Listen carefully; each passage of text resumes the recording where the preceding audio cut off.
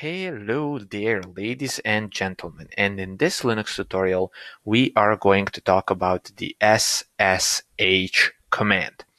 Now, you use the SSH command to connect to a remote host. And what does the host mean? Well, host is actually a remote computer. And you most likely won't be doing this if you're just a regular desktop user but if you're a software engineer or a system administrator, especially if you're a system administrator or a wannabe hacker, this is something you will most likely use. Okay.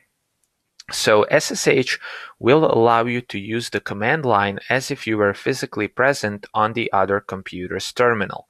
The computer you are connecting to needs to run SSH server and you need to be running SSH client. And in order to connect to a host, you write SSH host. And by host, I actually mean the IP address of the host. Okay, so let me write it as IP host. And if you want to connect with a different username, so if I were to just run this command and actually type in a legit IP address, I would actually connect as Mislav. If I want to connect, connect as some other user, let's say user2, then I would write user2 at IP of the host okay?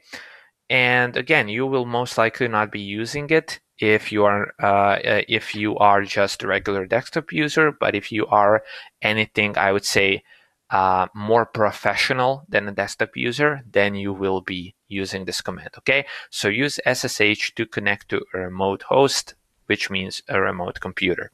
Okay, so thank you guys for watching. I hope you learned something useful, and I will talk to you in the next tutorial.